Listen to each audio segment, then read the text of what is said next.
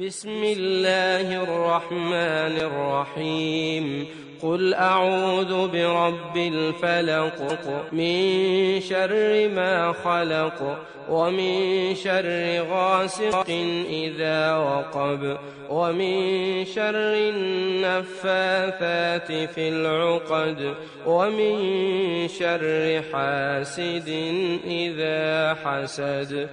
بسم الله الرحمن الرحيم قل أعوذ برب الفلق من شر ما خلق ومن شر غاسق إذا وقب سورة سورة الفلق بالي هذا مقعيدنا قل أعوذ برب الفلق إذا سلق سوقاتي سورة هي سورة كدن بيسو لبضب ومدنية قرآن مدينة كسو دقيبه كميديه سببها مركا أي سورة يعني سببت أي كسو دقتي وحال هذا nabiga calayhi salaatu wasalaam sida imaamu muslim iyo imaamu axmed iyo tirmidi iyo ay warinayaan nabiga calayhi salaatu wasalaam aayadda suuradaha markay soo degeen ayuu wuxuu yidhi alam tara aayaatin unzilat haadihi leyla lam yura milahunna qatu aayaad oo la igu soo dejiyey wax lamida aan la arag ma aragtaa buu yidhi yani saasuu leeyahy xadiidkii cuqbat bni caamir ayuu nabigu ku leeyay markaasuu qula cudubr bilfalaq iyo qula cudubr binnaasi buu akhriyey weyaan marka nebigu calayhi salaatu wasalaam sababta ay ku degtay waxaa la yidhaahdaa sababka ay ku degtay nin la yidhaahda labiid ibni acsam oo yuhuudda xaliif la ahaa min bani zuraykhna ka mid ahaa xaliif la ahaa oo munaafiqiintana ka mid ahaa ayaa nebiga sixray calayhi salaatu wasalaam. Markii uu sixray nabigu wuxuu arki jiray shay inuu la imaanayo ayuu yani loo suuraynaya mana la imaanayo. Xaasaskiisu inuu u tegayo oo kalebay la mid tahay mana u tegaayo wax saas camala ayuu in muddaa nebigu ku jiray oo sixirka ninkaa uu sixiray ayaa maaragtay yani sababta u ahayd aayaadka ay ku soo degeen. Xadiidkaasna bukhaari muslim bay warinayaan. Xadiidu caaisha radi allahu canha weeyaan ninkaas ayaa sixiray sixirkii markuu sixray ayaa ilaahay subxaanau watacaala laba malag buu nebigu u soo diray. Midna madaxuu ka fadhiistay midna lugahu ka fadhiistay. Yani labadii malag. Markaasay labadooda isweydiinayaan.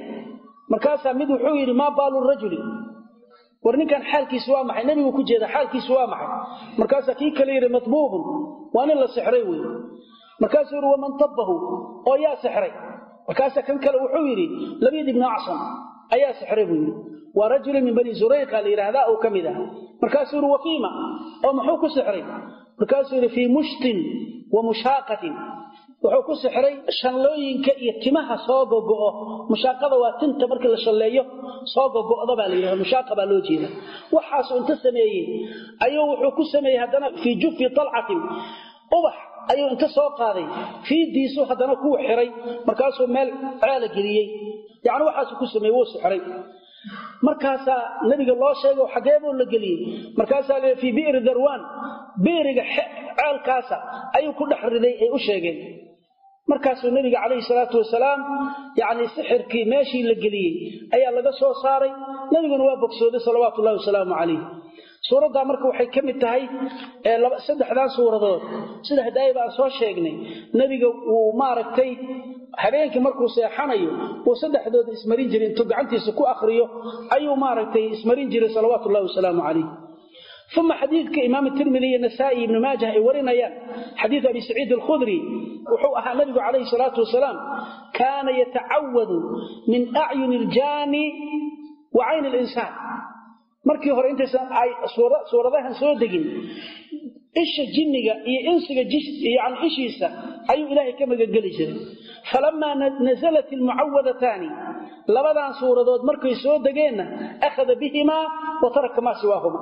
Ayagoo marka qabsaday wixii kalena nebiga faraha ayuu ka qaaday weeye nabiga markuu xanuunsado salawaatu ullahi wasalaamu calayhi sida xadiidka bukhaari imaam axmed xadiida caaisha waxay leedahay ana rasuula allahi sal alay wasalam kaana ida ishtaka hadduu nebigu xanuunsado yaqra'u calaa nafsihi bilmucawadatayn naftiisa ayuu mucawadataynka labadan suuradood weeye qul acdu bilfalq qul acdu bilbinaas buu isku akhrin jiray oo naftiisa ku akhrin jiray wayanfuthu markaasuu gacantiisa ku afuufi jiray ismarin jiray falama ishtadda wajacuhu markii xanuunkiisa ou nebiga ku sii darnaado ku adkaaday kuntu aqra'u calayhi nebiga anaa ku dul akhrin jiray wa amsaxu biyadihi calayhi nebiga ayaan gacantiisa aan marmarin jiray bay leedahay rajaaa barakatiha yani nebiga gacmihiisaan ku dul akrinaya laakiin gacantii nebigaan haddana asaga korkiisa marin jiray tiri maxaa yeele gacantayda gacantiisa way ka barako badan tahay.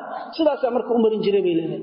Marka yani waxaa xadiidkaas ka qaadanaynaa qofku hadduu xanuunsado ahalkiisa inuu dadka qur'aanka ku akriyo adiga inaad naftaada ku akriso inaad adiga naftaada ku akriso ahalkaagu hadday kaa xanuunsadaan carruurtaada iyo xaasaskaada inaad adiga ku akriso xeryahan ay dadku la aadaan oo nimanka xeryaha ootay oo maalin walba la geynahayo sax ma aha. Haweentaadii aad u diraysaa leedahay nin xere ootaad waxaa leedahay orab qur'aan ku soo akri asagaa jinni ku soo ridayo jinniyaday ku diraan halkaas jinniyada ka soo diraan.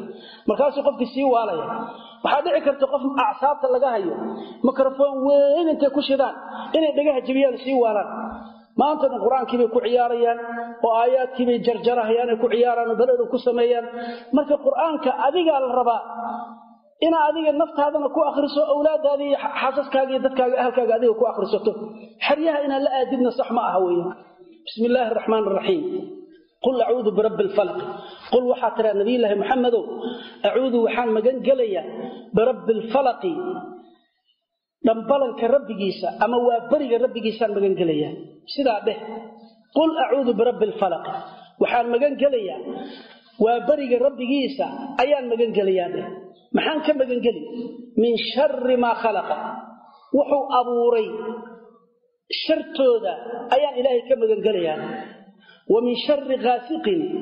Habeenka shartiisa ayaan ilaahay ka magan dheh idaa waqaba ay idaa adlama hadduu mugdiyoobo oo mugdi ou noqdo ayaan rabbi ka magangelayaa dheh wa min shari nafaafaati nafta tufidda badan oo saaxiradda ah sharteeda ayaan ilaahay ka magangelayaa dheh fil cuqadi guntimaha dhexdooda ku tufidda badan baan rabbi ka magangelayaa dheh wa min shari xaasidin midka xaasidka ah shartiisa ayaan ilaahay ka magangelayaa dheh idaa xasada markuu xastayo xasadka u dhaqaaqo inuu xasto ou rabo baan ilaahay ka magangelayaa dheh suuraddan marka suurat lfalaq alfalaq waxaa la yidhaahdaa mufasiriinta macaani isku dhowdhow bay ku sheegaan yacni asubxu waa la yidhaahdaa subxii falaq waa loo yaqaana laakiin in laiska caam yeelo oo caam laga dhigo sida xasanulbasri oo ku fasiraayo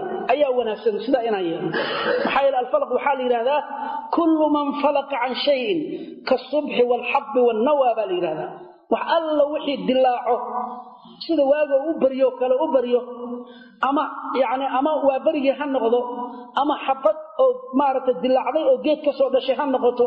Ama laftimireed oo geed ka soo dhashay ha noqdee wax alla wixii kala dhambalmo oo dhan oo wax ka soo baxaan ayaa la yidhahdaa falaqa loo jeedaa wey maxaa yeele fii suurati alacaamu ku soo marnay allahu odhanaya faaliqu lisbaaxi wajacala leyla sakana.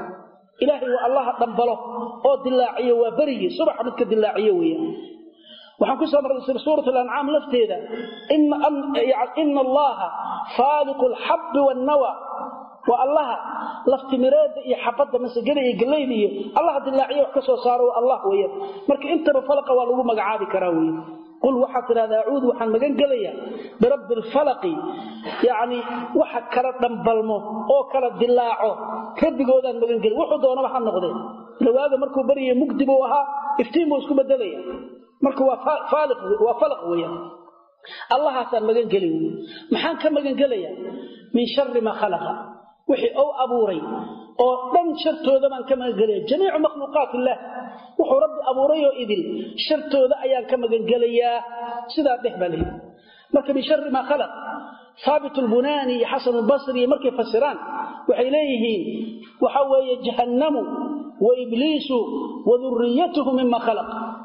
Yacni jahannamadii baa ka mid ah. Naarta ilaahay wuxuu abuuray ka mid taha in laga magan galo wey ilahay inuu kaa badbaadiyo waxaa ka mid ah ibliis inuu ilaahay kaa magangeliyo iyo wixii asaga maarata ka farcamay duriyadiisii ah inuu ilaahay kaa magangeliyo inaad rabbigaada bariso ood weydiisa baa la rabaa wey laakiin in layska caam yeelo min shari maa khalaq la yidhaahdo ayaa wanaagsan. Wax alla wuxuu abuuray oo dhan ayaan ilaahay ka magangelayaa wa min shari haasiqin haasiqka habeenkii baa loo jeedaa. Habeenkii shartiisa ayaan aan ilaahay ka magangelaya idaa waqaba hadduu mugdiyoobo oo ou madoobaado ayaan rabbi ka magangelaya yani hasaqa waa habeenkii baa loo jeedaa. Waan soo marray fii suurati lisraa aqim asalaata liduluuki shamsi ilaa hasaqi leyli allah odhanaya ilaa hasaqi leyli habeenka mugdigiisa laga gaaro. Waa taa weeyaan marka habeenku marka shartiisa laga magangelayo waa maxay? Habeenka maalintii wuu ka shar badan yahay. Shar oo dhan inteeda badan sharu ashayaatiin shayaaiin alinsi waljin habeenkii unbay soo baxdaan. Shayaaiinta jinnigii habeenkiibay soo intishaaraan oo dadka ay dhibaan. Waxa weeyaan habeenkiibaa mu'aamaraadka iyo maaragtay lugooyada iyo dadka la dhibo yani la maleegaa fisqiga iyo xaaraamta habeenkiibaa la sameeyaa wax alla waxaad arkaysid waxoo dhanba. Fujuurka iyo khiyaanada iyo sariqada tuugada iyo waxoo dhanba habeenkii baa la sameeya sababta mugdigaasa ah, wax walbaba ay ku dhex gabanayaan wey marka wuxuu kulansaday oo idil habeenkaas baa loo jeedaa. Markuu mugdiyoobo shartiisaan ilaahay ka magangalana wamin shari nafaasaati. Annafaasaat waxaa loo jeeda asawaaxira la yidhahda nafta tufidda badan oo saaxirada ah nufuusta tufidda badan oo maaragtay saaxiradda ah ayaan ilaahay ka magangelina maxay ku tufid badan tahay? Filcuqadi guntimaha dhexdeeda ku tufid badan. Maxaa yidhi ninka saaxirka waxbuu gunguntaa waxbuu xirxiraa u laalaabaa. Yani maaragtay tin ha ku xiro qashin ha ku xiro balaayo kale ha dhexgeliyo waxbuu guntimuu sameeyaa. Marka guntimaha wax ku tufidda badan ayaan ilaahay ka magangelayaa dheh baa lali taasaan ilaahay ka magangeli dheh marka taa un baa loo jeedaa. Sidaas darteed yani nabigeenna calayhi salaatu wasalaam xadiidka imaam muslim imaam axmed ee warina xadiid abi saciid alkhudri wuxuu yidhi ana jibriila jaa ilaa rasuuli illahi sal alla alay wasalam malakuljibriil ayaa nabiga u yimid salawaatu wasalaamu calayh maruu nabiga xanuunsaday ayaa malakuljibriil u yimid. Markaasuu faqaala ishtakayta yaa muxamadu maxamedow ma xanuunsatay buu yidhi. Markaasuu yidhi nacam waa xanuunsaday malakuljibriilaa ku tufay wuxuu yidhi bismi illaahi arqiika alla magaciisaan kugu tufaya min kulli daa'in yu'diika. Xanuun kasta yani cudur kasta oo ku dhibayo ayaan ilaahay magaciisa kaaga tufaya wa min shari kulli xaasidin wa caynin allahu yashfiika shar kasta oo mid xaasida iyo mid maaragtay yani wax ilaysto ila ishu waa xaq wey waa shay jira wey alcaynu xaquna nabigeena yidhi calayhi salaatu wasalaam. Ayaan ilaahay magaciisa kaaga tufayaa buu yidhi allahu yashfiika allah ku caafinayo cid kaloo ku caafin kartaana ma jirta weeyaan. Wa min shari xaasidin midka xaasidkaa shartiisa baan kaa magan ilaahay yani alle aan ka magan galay dheh idaa xasada marka uu xasadeeyo oo ficilka xasadka markuu ku dhaqaaqo oo au muujisto xasadka markuu muujisto ayaan ilaahay ka magangalay dheh ficilka markuu ku dhaqaaqayo oo xasadnimada ayaan ilaahay ka magangalay dheh lanna xasadka waxaa la yidhaahdaa markay culummadu tacriifiyaan waa tamanii zawaala anicma allatii ancama allahu biha cala almaxsuudi baa la yidhahdaa qofkaan la xastayo nicmada ilaahay subxaana wa tacaala uu ku galladaystay ou siiyey inay ka suusho oy ka baaba'do ka dhammaato tamaniga iyo jacaylka aad jeclaataa la yidhahdaa marka lama ogola xasadkaasi. Xasadkaas waa xaaraamu walaalkaaga ilaahay wuxuu siiyey inaad ku xasado hadday maal tahay hadday caqli tahay hadday awood tahay haddii ay awlaad tahay haddii ay cilmi tahay inaad ku xasado lama rabo adiga ilaahay weydiisa waxaa tiri hadduu khayr kaaga horeeyo ilaahay anna khayrkaasaan ugu yani isii khayrkaada khasnadaada wax iga sii si aan khayrka ugu adeego inaad